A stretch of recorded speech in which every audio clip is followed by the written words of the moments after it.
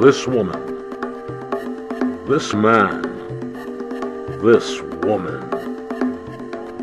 What was it that drove them to immoral desires? These three people, thrown into a triangle of tragedy when they walked between the lines of right and wrong, would any of them survive?